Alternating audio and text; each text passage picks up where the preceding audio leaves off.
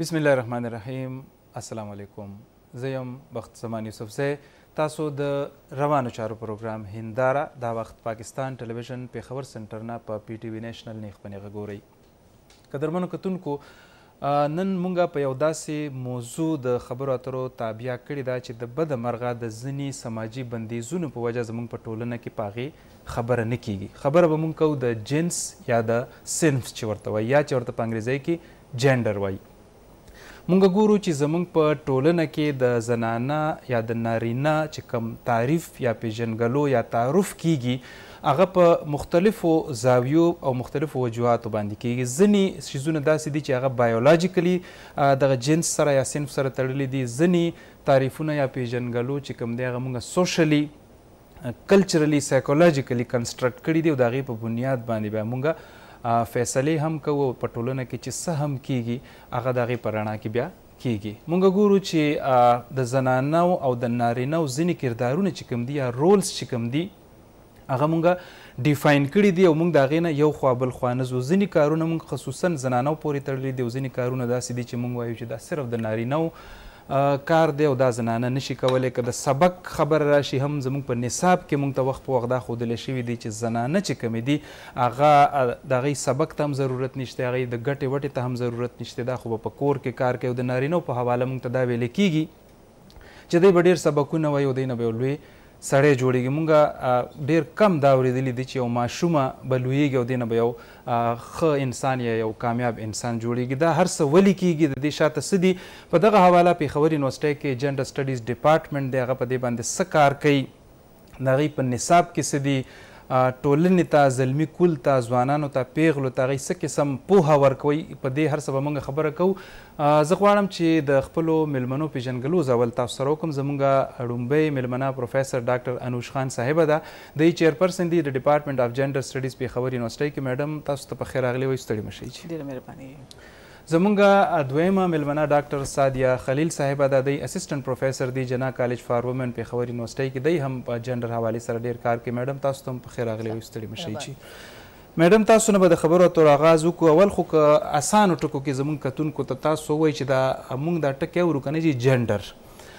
یو خو دا مس انډرسټوډ کیږی جنډر څه ته وایی صنف څه ته وایی جنس څه ته وایی دی کی څه فرق شته که دا یو شی دی. ډیره مهرباني چې تاسو یو خو په دې پروګرام وکړ زما په خیال کې زمونږ ټولو کې لوی چې غلط فهمي پیدا کیږي هغه هم د دې الفاظو نه شروع کیږي جنس چې دی هغه یو داسې لکه جنس مونږ هغه ته وایو د انسان چې هغه که خزا ده که سړی دی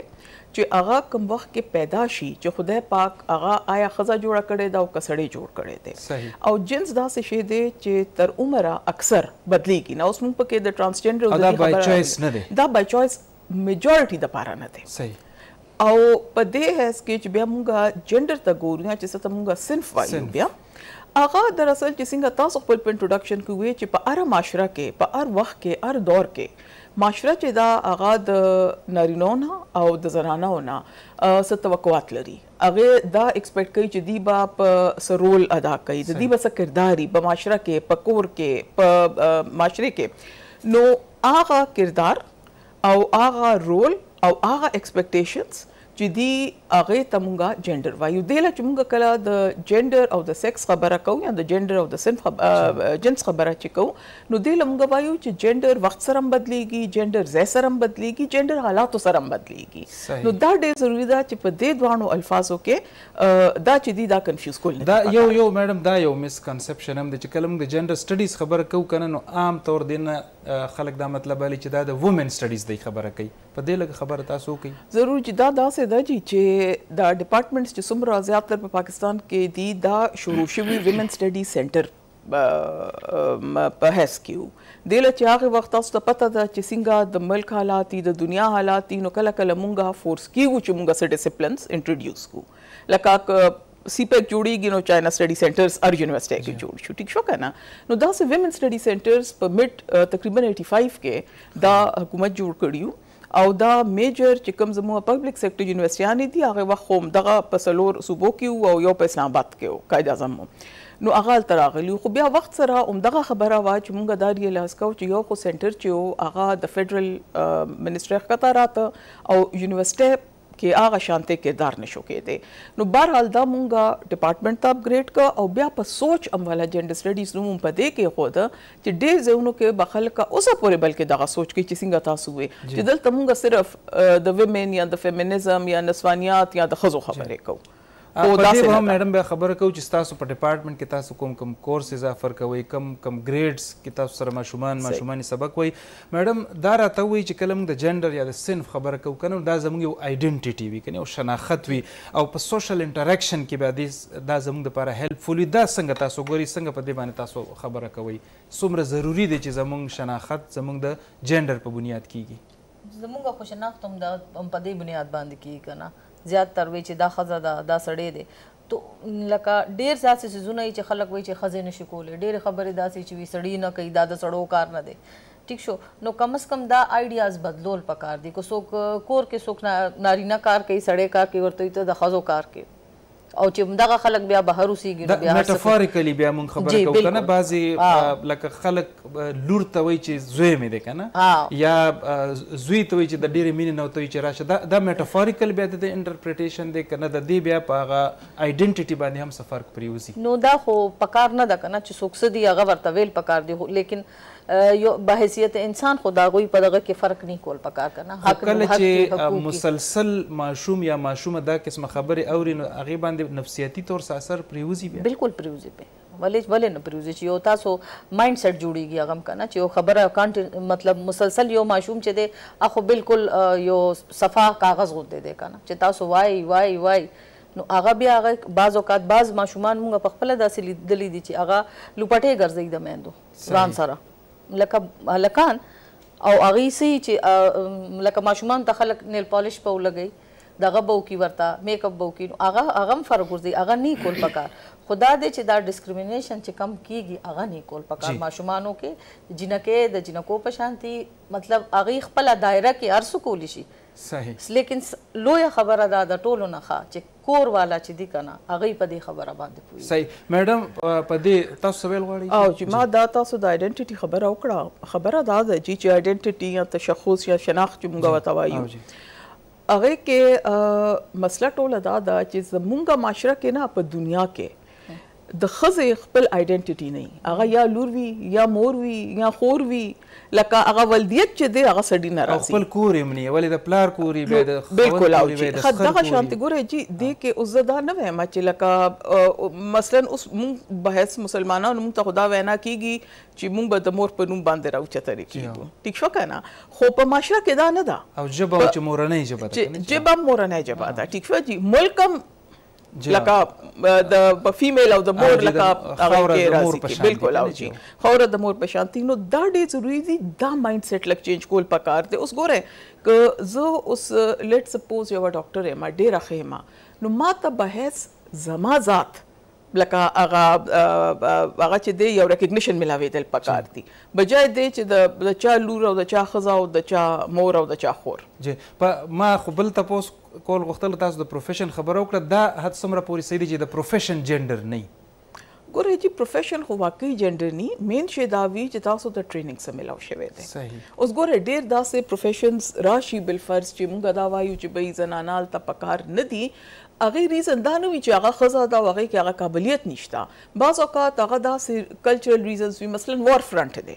هلته چې تاسو ښځه لیږئ دا نه ده چې هغه جنګ نشي کولی خو بیا د هغې د اونر او د عزت خیال به څوک ساتي ټیک شو تاسو په میډیا کې چې دا کوریج لا ځای او دا چې کوم سنسټیو ایریاز یې هلته ولې زنانه نه لیږئ دې لا نه چې هغه ښه کیمرا پرسن نشي کېدی یا هغه نیوز نشي کور کولی یا هغه هغه ځای ته تللی نشي هغه هر څه کولی شي خو بیا هلته کې موږ ته مسله راشي چې د هغې عزت خو سات عزت خو د نارینو هم خیال ساتلی خو بیا د زنانو زیات چونکه زموږ سوشل سټرکچر سوشل په دنیا کې هم دا سوشل سټرکچر داسې دی دا میډم ما اصل کې دا خبره کول غوښتل چې نصاب څومره پورې موږ د جندر ډیسکریمینیشن خبره کوو کنه چې د جنس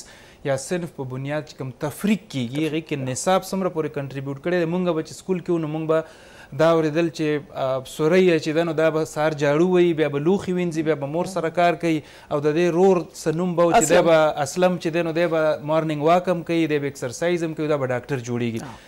دغه خبرې او بیا زموږ متلونه، زموږ ټپې چې ښځه چې ده یا د کور ده یا د ګور ده، ټیک شوه، دغه شیزونه چې زموږ خویندې، میندې، لوڼه مسلسل اوري، نفسیاتي تورغۍ کوم ځای کېږي؟ ګورئ جي نصاب څخه به زه لږ ته پسه راسم تاسو دا د ټپو خبره وکړه تاسو د متلونو خبره وکړه ټپې او متلونه چې دي نو دا زمونږه فوکلور دی فوکلور مونږ هغه ته وایو چې زمونږه عام ادب وي چې کلی کې مغه خلک پیپیږي او لکه دا سې لیکل ادب نه دی او یو جنریشن بل جنریشن ته راغلی دی د معاشره دا چې کوم فوکلور وی چې هغه ټپه دا هغه متلونه دي دا د هغه معاشره ذهنیت عکاسي کوي ولی دا ډیر زړه نه راوتی بغیر په سوچ سمجھ راوتی دا غالب نه دی لیکلی چې هغه خپل پوئټری سما کړی یا دا شیکسپیر نه دی لیکلی چې هغه ایډیټ کړی وی دا زړه نه راوتی دی نو دینا چې مونږه کله اوس مونږه ګوره زمونږه په پښتو ژبه کې زه اوسه پرې دا وایم چې زه دا ویرم چې څوک دا وایي چې څنګه تاسو وایي چې دا تکړه خزه ده مونږ همیشه وایو چې ډیره نره خزه نره خزه ده نو هغه آیډنټیټي ریفرنس پوینټ بیا هم نر دی چې تکړه او نر کیدی شي غوزه په دې کې هم دا صفت شته ټیک شو کنه جی دغه شانته چې اوس تاسو د ټپې خبره وکړه لکه زمونږ په دې خادو کې او په دې کې مونږ یو ډیر فیمس ټپه ده چې مونږ وایو چې ک الک کتو شي لونګین بشي جنای کې تور شي بنګړي به خرڅي به دا خو بیا دا وایي چې کله ظلمونه پوره نشون وګرانه وطن جنکې به ګټي خو دا ډیر لګ بیل کتا سو غ بیلنس ولا رو باسه غل کم او جی خو دا ده چې زیات تر چې زمونږ عام فهم چې کومه ژبه ده چې کومه زمونږ د ژبې محاوره ده په پښتو کې هغې کې هم ډېر تفریق مونږ ته ښکاري. نو دا دا پیټریارکل ماینډ سیټ چې کوم دی جی دا صرف سړو کې کنه زنانه هم پیټریارکل کې دی شي نه چې زنانه هم کې دی شي دله پیټریارکل یا پیدرشاهي چې موږ وتا وایو دا زما په خیال کې یو ماینډ سیټ دی یو سوچ دی صحیح او هغه سوچ بیا په سیستم کې ترانسلیټ شي ولې چې زیات تر چې کوم ځای کې زمونږه ډیسیژن میکینګ وي یا چې کوم ځای کې زمونږه اهم ډیسیژنز غشتل کیږي هغه کې زیات تر نارینه وي انوالو نو زنانه هم دا مایند سیټ لرلی شي او دا غي بیا وجه هم دغه دا غي دغه وایي چې لکه معاشره کې سړي چې دي هغه په دې ماينډ سيټ کامياب دي نو هسې نه که مونږ هغه شانتې ونه شو نو مي بي زمونږ اړو څوک خبره ونه مني. بيا خو چې کوم هغه ميډم تاسو په دې خبره وکړئ کوم چې ډيفاينډ رولز دي کنه جي زمونږ سوشلي کلچرلي هغه بيا لږ امبيلنس کيږي نه جي چې لکه ښځه د سړي کار واخلي لکه هغه بيا د خاندان مشره مي فيصلې هم کوي د سړي بيا رول لږ غوندکې مينيمايز شي نو بيا هغه ايډنټيټي کرايسز هم پکې راځي. نه داسې خبره خو دومره نه کیږي ولې چې تاسو ګورئ کورونو کې چې دا فیصلې کیږي سړي کوي خو دا ټول سیزونه روان کړي شاته سړوي لکه ودونه شي نور سیزونه شي مخکې خو پکې سړی یو کې خو بیا وروسته ښځې نو زما په خیال دا دی چې دا اویرنس ډیر ضروری دی دا جندر ایکوالټي تاسو څنګه ډیفاین کوئ میډم په دې جندر ایکوالټي خدا دا چې مطلب دواړو له سپیس ورکول پکار دی کنه صحیح دا نه ده چې یو د بل د پاسه بر وي او مطلب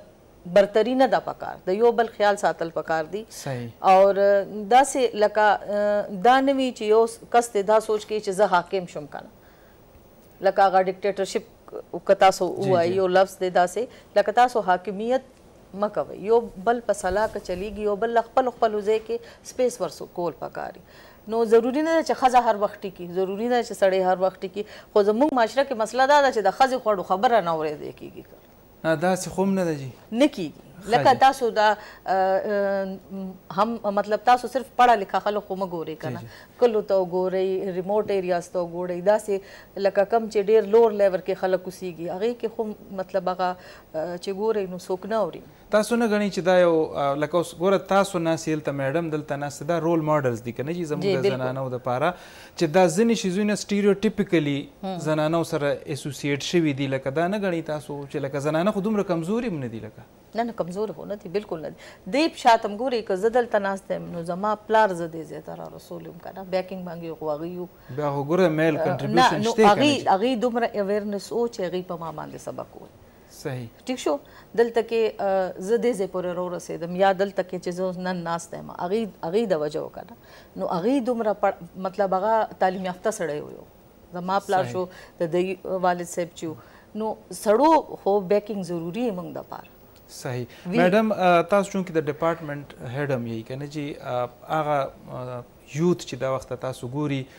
ظاهره د هغوی ذهن کې مختلف سوالونه راځي د جنډر سټډیز ډپارټمنټ حوالې سره زه هم که تاسو لږ په ډپارټمنټ خبره وکړئ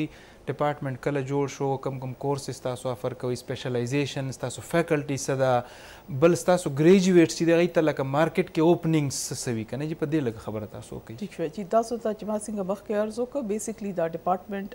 ویمن سټډي سنټر په حیث کې جوړ شوی و 85 86 کې غالبا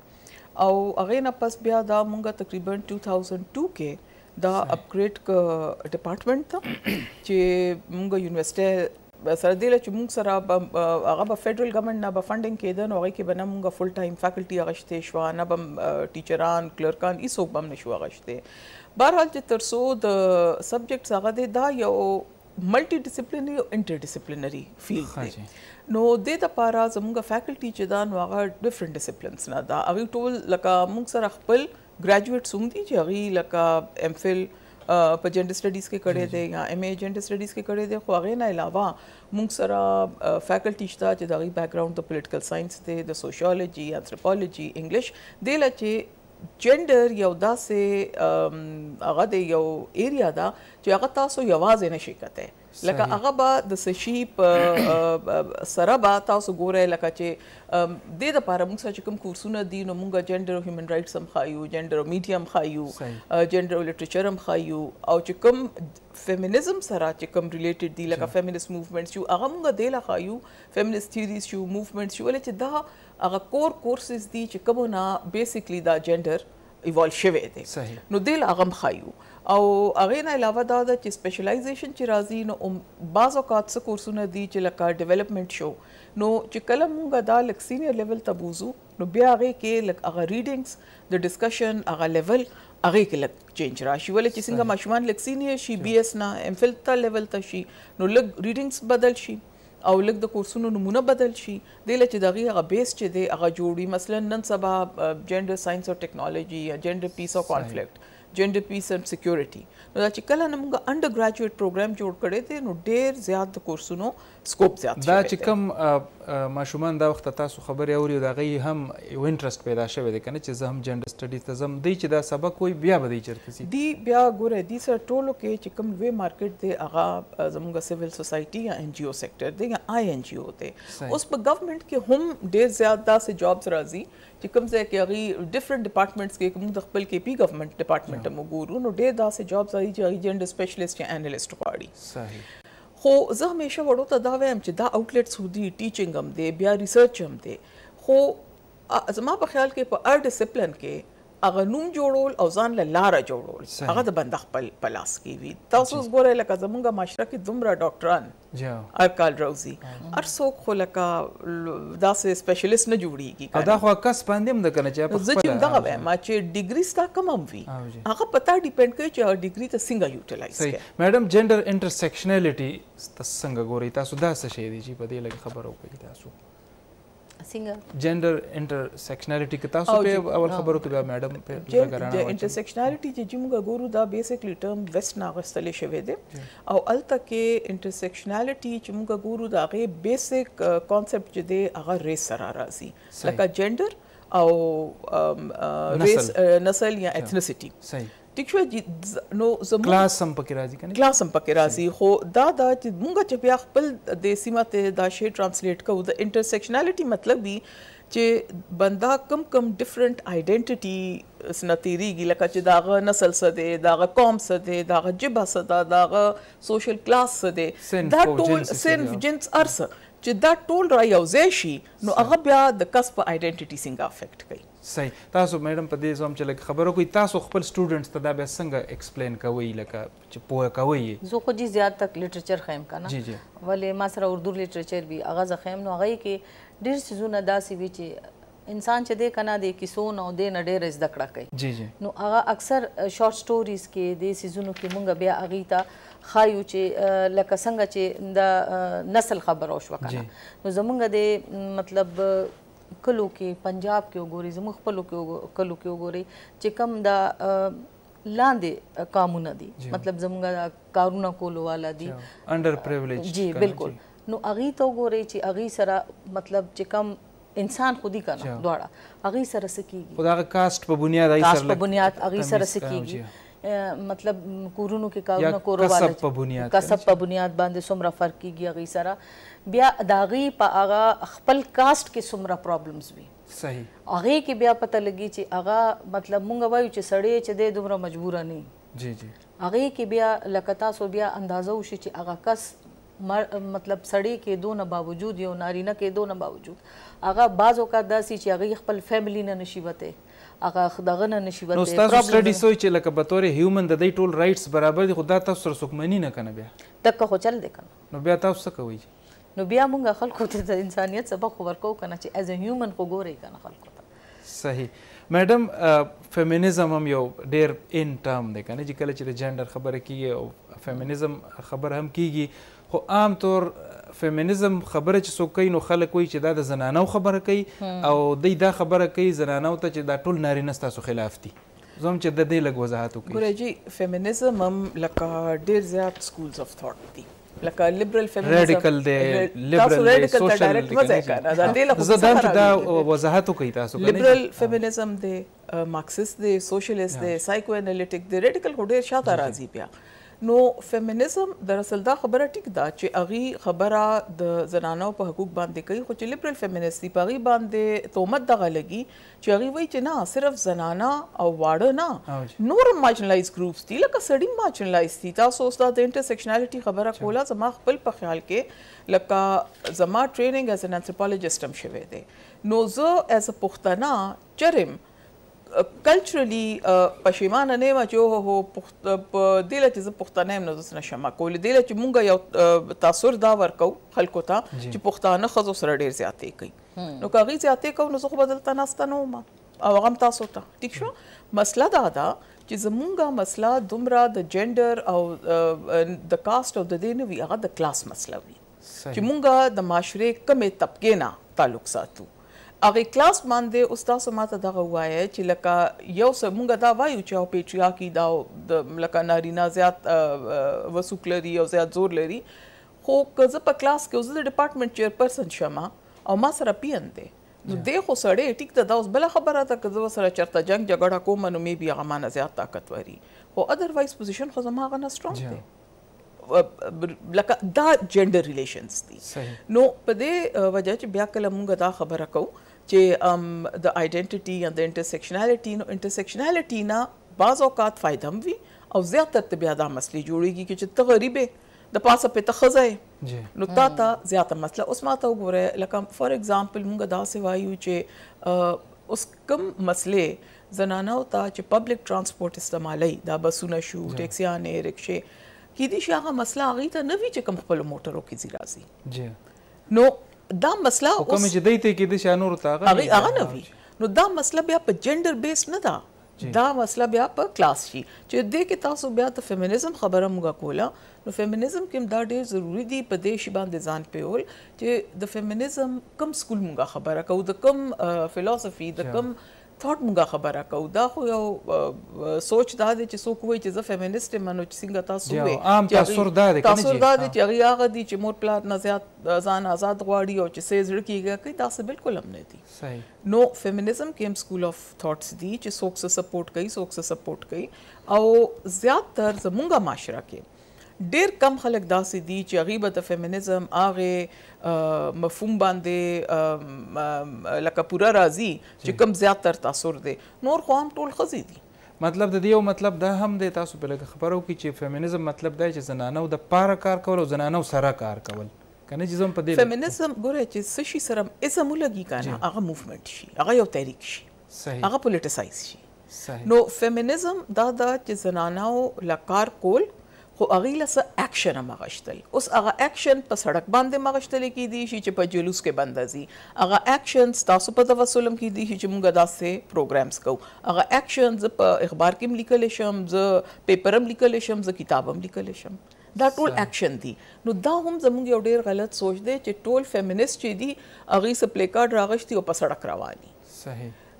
مطلب یو شان د کار روزګار د سبق موقع ورکول او دا انشور کول انشور کول جی چې کوم بیسیک هیومن رائټس دي جی تاسو میډم لکه کله چې مونږ دا زوم چې په دې لګ ډیره خبره وشي کنه چې کله مونږ دا خبره ور دا خو میډم ډیر ښه ایکسپلین کړنو د میل طبقه چې کومه ده کنه چې نارینه چې کوم دی د دې خلاف بیا راودرېږي د مختلف شکلونو کې کاغه ان جی اوز کوي که هغه په تعلیمي ادارو کې کېږي، که هغه د څه کاز دپاره کېږي یا چرته څه زیاتې وشي زنانه د هغې خلاف روځي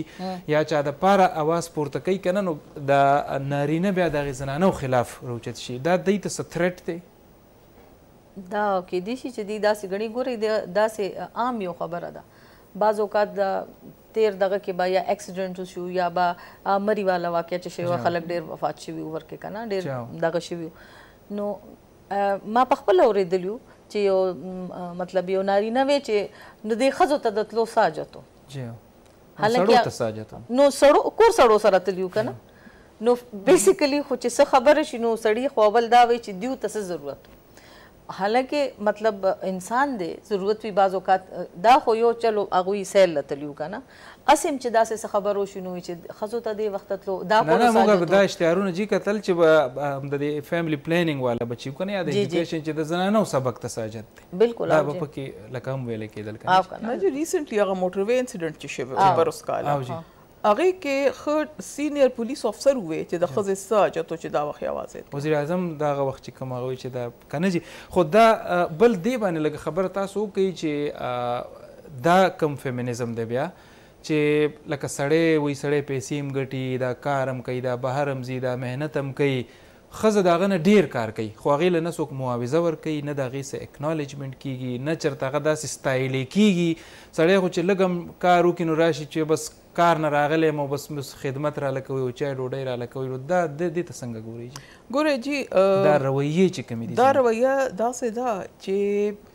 امپورټنس یا اهمیت هغه ته ورکول کیږی چی کوم ځای کی ګټه وی چی کوم ځای کی معاوضه راسی پیسی لکه پیسی راسی اوس ګوره تاسو په کورونو کی وګوره اخلی پخلی ښځی کوی صفای ښځی کوی جامی ښځی وینځی جامی ښځی ګنډی خو په دنیا کی چې کوم مشهور کوکس دي هغه سړي دي چې کوم مشهور ډیزاینرز دي میجورټي هغه سړي دي ولې چې الته کې کیپټالیزم دی الته کې پیسې انوالو ده نو چې کوم ځای کې پیسې راشي دا هغه کس بیا اهمیت هم زیات دي او د خزم وی جسه چې کومه خزه پیسې ګټي دا غیم لګ ډیر اهمیت دا کېږي زم اورال تاسو خبره کوي لکه دلته کې خو داسې لکه خزشته ډیر امپاورډ دي کنه چې هغه خپل برانډز دي هغه هم کار کوي دا غي نوم هم شته هغه دي شته خو هغه کې دا خو زمونږ ملک کې تاسو ګورئ خو زه د دنیا هم خبره کوم کنه خو تاسو خپل په دې میډیا کې وګورئ څومره ښځې دي چې دغه میډیا هاوسز دي یو زه هغه میډم سلطانه چې دا هغه پیژنم ما هم سلطانه صدیقي هم ټي وي والا نور کم دي چې دلته کې ښځې شته چې دغه میډیا هاوسز دي ګوره دا جی ټوله خبره چې دا کنه دا زمونږ په سوچ او پاغې نه دي دا ټول بیسیکلی یو د طاقت یو د پاور جنگ وي چې کوم کس په څه وجه او زیات تر هغه خبره ده چې هغه ډیسیژن میکینګ د سړو په لاس کې دی صحیح او او په دې او بل نه غي نه علاوه نتورکینګ چې دی یا ملاویدل چې دی یا سيزونه ډیسکس کوي یا لوبینګ کول دي هغه سړی ډیر پارام کولی شي لکه هر وخت ملاویدیم شي یو بل کرم تلی شي زه خو جی په خپل ډپارټمنټ کې چې سلور بجو نه لګه زیاته کې نه ماته پی نم راشي وای جنن کورته نه ځه بی زما به کار یی زه به سلا ناسته یم سړی به ناست یی اتو نهو پوری دفتر وکی هغی نه خو پی ان ان تپوس نه کوی. نو دغه میډم دا رویه به څنګه بدلو لکه تاسو ویل کنه چی کوم ځای کی پیسی انوالو وی کنه جی نو که دا ښځه چی کوم کور کی کوم کارونه کوی کنه نو که فرض که دا مونږ حساب کتاب وکړو نو ددی باندی خو هم ډیری پیسی لګی نو دا پیسی خو بچت کیږی هم بیا کنه دا ولې نه اکنالج کیږي؟ نو جی بچت خو نه اکنالج کیږي ګټل زیات اکنالج کیږي کنه بچت ته خو بچت ته حساب کتاب کوو ګټل خو مخامخ یې هر میاشت دي صحیح نو ګوره دا لکه خو ما هسې اګزامپل تاسو له درکه ایون کومې ښځې هم چې ګټي د هغوی هم په معاشرې کې حیث وي خو بیا بیا هم هغه کلچرل ریزنز راشي تاسو ټول دې ځایونو کې محکمو کې وګورئ چې کوم اوچتې عهدې دي هغې ته ولې ښځې نه رسېدلې لکه تاسو که د یونیورسټی سټرکچر نه تاسو هم ښه خبر یی تاسو خپل د میډیا سټرکچر ته وګورئ موږ سره څومره فیمیل چیرمنان دي موږ سره څومره فیمیل ډینز دي څومره فیمیل وایس چانسلرز دي که وایس چانسلرز دي نو هغه هم د فیمیل یونیورسټیانو دي لکه که اکټینګ پکې راغلی هغه زه نه کاونټ کوم دې له چې اکټینګ خو لږ وخت دپاره وي نو خبره دا ده چې ولې نه رسي هغه بیا کیسه شاته لاړه شي چې ګوره یو چیرمن جوړېدو له ډین جوړېدو له څه لوازمات دي څه ریکوایرمنټس دي هغه به پوره کړي نو چې بیا هغوی د کور خیال هم ساتي او هغه هم کوي نو هغه لږ ګران شي میډم په دې لږه تاسو خبره وکړئ لکه موږ دلته د میل او د فیمیل خبره کوو کنه کله چې موږ د جنډر خبره کوو دې کې ټرانس جنډر هم راځي هغه تاسو کوم ځای پلیس کوئ هغه باره کې تاسو څه اویرنس ورکوي سټوډنټس ته د هغه څه رائټس دي زوم چې په دې هم تاسو لږه خبره وکړئ چې هغه هوټل نه اول خو تاسو وګورئ چې زمونږ مطلب معاشره کې د یو خندا یا یو مزاق وړاولو دغه جوړ کړی وي حالانکه اخو خدای پیدا کړی دي کنه مطلب ټول خو په خپل مرزه نه دي میډم مختوی چې دا خو بای چويس نه دی کنه نه دی بالکل جندر دی بالکل چې څنګه مونږه سوک زنانه دی سوک سړی دی نو دا سه خدای پاک پیدا کړی دی کنه الک دی یا جنې دا نو دغه شانته دیم دی دیو طرف ته یو هغه مسلسل زمونږه دغه جوړ شوی دی چې څنګه دا غوي لکه غوي بالکل بیل کی انسان نه غني او مطلب نه کور والم پری دی خلک یې مطلب ډیر مونږ دغه ګورو چې دی هغه ځان لوسیږي هغه داسې ماشوم چې دی نو دا هغه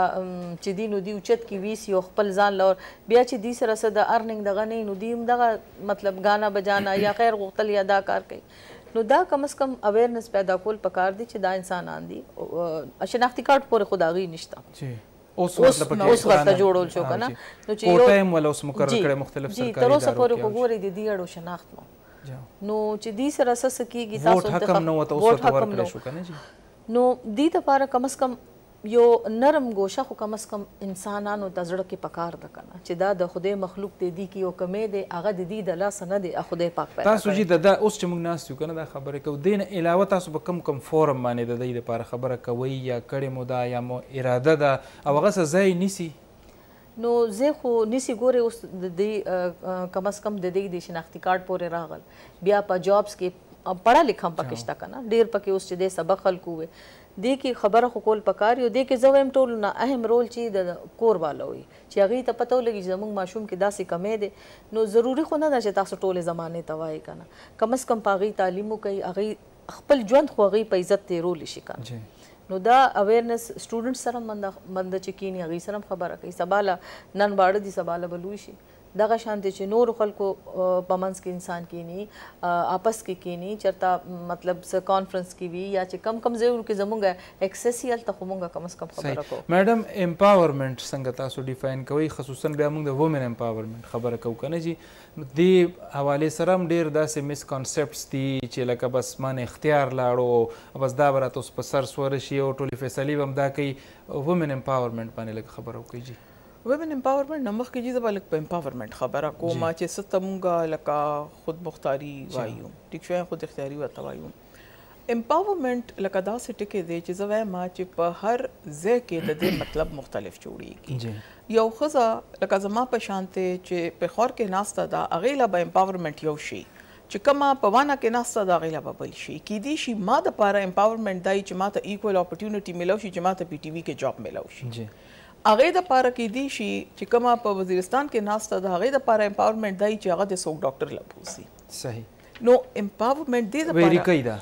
کنټیکسچولی ویری کوي چې کوم ځای کې تاسو زه د چا نه ویم زه خپل لکه امپاورمنټ ته داسې ګورم نو دې لا په دې امپاورمنټ باندې دومره بحث په دې نه دی پکار چې د هر ځای کې د د ښځې د امپاورمنټ ریکوایرمنټس او چې کوم د امپاورمنټ طریقه کار دی هغه جدا کېدی شي صحیح نو بیا بیا د وومن امپاورمنټ سره چې کوم شیزونه اټیچ شوی دی کنه چې دا ولې دا مس کانسپټ دا چې مس کانسپټ دی لا دی چې مونږه په خپل چرته دا سيزونه کلیر کوو نه او بعض اوقات مونږه دا سيزونه ان کلیر دی لا پریدو چې هغه کې زمونږه څه فائدہ وي او نارینو نارینو فائدہ وي د سټیټ فائدہ وي د نارینو د سټیټ د پالیسي د ادارې لکه صرف زه نارینه نه یادوم لکه هغه ادارم کې دي شي هغه ګورنمنټم کې دي شي کې دي شي په هغه وته فندنګ ملاويږي لکه مختلف ریزنز کیدی شي او نارینه خو چې سپیشلی بیا خپل پرسنل ریلیشن شپ کې راشي یا تعلقاتو کې راشي کاغه کور کې دي او کاغه د جاب په ځای کې دي نو الته کې هم بیا مطلب چې دی هغه وومن امپاورمنټ څه تھریټ دی چې مین امپاورمنټ ګوره زه تاسو ته خبره کوم که یو کس په ځان کې ډاډای کنه وومن څه شي تھریټ هم نه وي مسله دا ده چرته کې موږ ته په ځان شک کی که زه تاسو نه تھریټنډ فیل کوم کنه یا زه د کیمرې نه تھریټنډ فیل کوم هغه ما ته په ځان کې بشک کې چې پته نشته مانه بس ته پوس کیږي او زه بس وایم صحیح ټیک شو نو چې کم ځای کې کمپلیکس شو بیا کنه نو کمپلیکس شو چې کم ځای کې تاسو ته په ځان کې او دا صرف لکه تاسو خو د ویمن امپاورمنټ خبره کوي دا په سینیئر او جونیئرز کې کې دی شي په باس کې او په ماتت کې کې دی شي خو که بنده په خپله ټکي پوره يي په هر څه نو بيا نه ده پکار. که په خپله پوره يي، که په ځان کانفيډنټ يي چي څه هوم ورک دی هغه يې کړي وي نو هيڅ قسمه تھريټ نه يي پکار. لکه يو ځل ماته ياد چي په يو کلاس کي چي ما کله پي ايچ ډي کوله بهر نو ما يو کلاس کي تپوس وکړ چي ګوره په امريکا کي د وايټ هاوس بهر هر څوک مظاهرې کوي لګيا يي که نه او هلته کي زيات تر مظاهرې چي دي هغه د ګورنمنټ خلاف وي او الته کې به ته اجازه اخلي به اجازه تاسو ډنډې منډې نشي راغشته نو ما نو تا ګورنمنټ ولې اجازه ورکوي غیله هم داغي خلاف مظاهره دا ولې ولې اجازه ورکوي نو خیر هغه خو واډو انډرګریډ چا سوي چا سوي نو ما هغه مین ریزن دا دی چې ګورنمنت وای کوي چې څه کوي موږ په ځان ډاډو چې څه بنسټ کیږي کوو دا سوچ پکار دی چې میډم د میډیا رول باندې زوم چې تاسو هم لګي خبرې کوي ایرسپیکټیو اف میل فیمیل جندر حواله سره خبرې کوي تاسو ميډم به هم په بيا خبرې وکړي چې څه رول په کار دی څه تاسو وينئ چې کم دی هغې نه تاسو مطمئن يئ نه يئ مطمئن. ګورې ميډيا خو ډير رول پرې کولې شي اويرنس ډير ولې چې خلک ګوري ډرامې ګوري سيزونه ګوري نو يو بيلنس دغه راوستل پکاري ډيرې ګورې چې څنګه اوس وختي مونږ خبره کوله ډرامې ډرامه انسان بس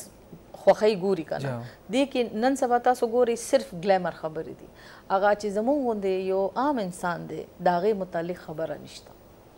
عام انسان اوس خو بس هغه داسې ښیي چې هغه ګلیمرایز ډیر دي که نه څیزونه چې دي ډرامه چې کومه موږ ګورو ولې چې میډیا هاوسز ډیر شو هغوی هماغه شی خرڅوي چې کم خرڅېږي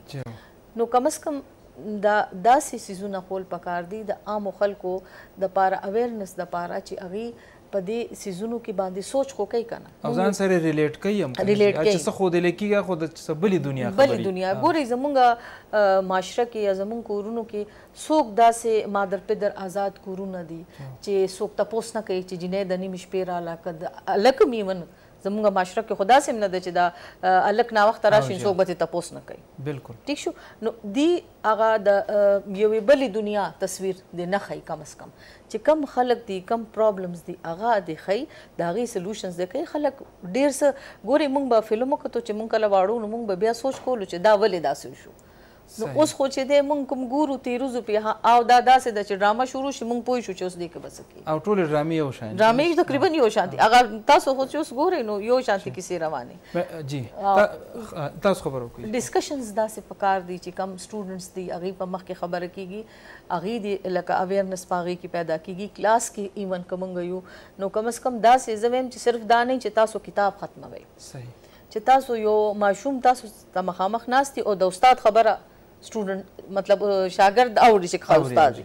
نو کم از کم هغه ماشومانو کې چې تاسو اویرنس څیزونو متعلق پیدا کړئ نو بیا هم ډیر فرق راځي جی میډم یو خو تاسو هم میډیا باندې لګ کمپریهنسیو خبره وکړي رول باندې او بل دا چې کم ایډنټیټیز مونږ کنسټرکټ کو کنه د د ګلیمر خبره وکړه نو دا ولی ضروری ده چې لکه دا زنانه به ګلیمرایز کیږي لکه یو نارینه یا یو خ څه چا اچیومنټ وي هغه ولې نه ګلیمرایز کیږي دې ځای کې هم لږ خونده کې زیاتې کیږي او بل اوورال تاسو کانټینټ باندې خبره وکړي د ډسکشن پروګرام د ډاکومنټریز د ټاک شوز د ډرامې د میوزیک لکه ولې ایز ا شو پیس خونته کې مونږه زنانه چې دا پورټری کوو ګوره جی آی تھنک مسله دا شو چې پخوا به یو پی ټی وی او زه نه ما خبر چې دلته به د ریټینګ څومره مسله وه زه هغه وخت خبره کوم چې صرف پي ټي وي به و مسله دا ده چې اوس میډیا پلیټ فارم دومره زیات شو او چې دا کووډ پکې راغی نو دا د ټيلي فلمز او س او یو ځای او بل ځای لکه هغه ټول هغه میډیا چې س به په ټي وي کېدل یا په فلم هغه کې به کېده هغه ټول په نت کانټینټ باندې شو لکه خاص فلمونه جوړ شو هغه دوران کې زمونږ اوس مسله دا ده چې میډیا پلیټ فارمز ډیر زیات دي هر قسمه دي نو د دې لپاره د میډیا هغه ریسپانسیبিলিټي نور هم جوړیږي او چې څومره پلیټ فارم زیات شو څومره چینل زیات شو کمپټیشن زیات شو کیسه ریټینګ ته رااله او هغه ریټینګ د لاسه بیا موږ هغه خول غواړو چې کوم لکه خرسيږي نو دا ګلامر ګلامر چې دی ګوره خو د خرسيږي خلک یو فلم سلا ګوري یو ډرامه سلا ګوري هغه خو سار نه تنګ شوی لکه خزي وی چې اخلي پخلي په دې ګرمه کې کړي وي کله ګیس شته او کله نشته او کله بجلی نشته او هغه چې ټي وي ترازی کې ني هغه میډیا تر فلم ترازی هغه ځان له یو فانټسي ورلد ګوري نو هغه فانټسي ورلد کې دا چې ولې سيزونه ګلامرایز شي هغه خوشي چې هغه لکه خپل هغه حقیقت نه لکسات لا اوزي خو د هغې بيا اثر څه کيږي هغې بيا دا وايي چې لکه هغه خو هم يوه دنيا ده کنه او زما هم دا دنيا ده هغه کمپاريزن شروع شي چې دا دومره په دې فيمينزم او په دې ويمن امپاورمنټ دا ولې ايډياز غلط راځي ولې چې دې ايډياز سره يا دې سوچ سره خو څوک پيدا نه وي دا زیات تر دا کانټنټ مونږه میډیا نه اخلو نو په دې کې چې څنګه ډاکټر صاحب به وې لګ بیلانس پکار دی صحیح بیلانس پکار دی جی خبره ډیره نورې هم په دې کې دی چې بیا به کو جی کتونکو پروګرام تاسو که ته مونږ نن کوشش وکړو په یو داسو موضوع باندې مونږ خبرو کو چې عام طور باندې په هغه په میډیا باندې خبره نه کیږي زمونږ چې کوم ایکسپرټس او ملمانو غي دا خبرو کړ چې کله مونږ د د جندر خبره کوو یا د وومن امپاورمنټ خبره کوو یا د فیمینزم خبره کوو نو د دې هرګز دا مطلب نه چې دا موږ یو خاص جنس یا صنف پورې تړو بلکې د دې بنیادي مقصد دا چې سوسایټي کې د هر چا یو رول چې کوم دی هغه ډیفاینډ د پکار دی چې هغه دی ومنل شي او هر چا ته دی د هغه